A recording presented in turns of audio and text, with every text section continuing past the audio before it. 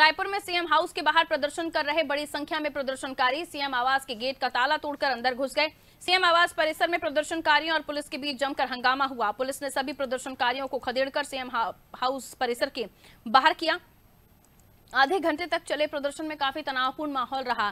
बताया जा रहा है कि छेड़ी, खेड़ी के करीब डेढ़ सौ परिवार के लोग सीएम हाउस पहुँचे थे। ये लोग बिना नोटिस और विस्थापन को लेकर विरोध जताने के लिए सीएम आवास पहुँचे थे। प्रदर्शन कर रहे लोगों का आरोप है कि उन्हें प्रशासन ने 17 मार्च तक इलाके को खाली करने का नोटिस दिया है, जबकि 21 मार्च को बुलडोजर चलाने का नोटिस दिया। प्रदर्शनकारियों की मांग है कि व्यवस्थापन के बाद ही उन्हें हटाया जाए।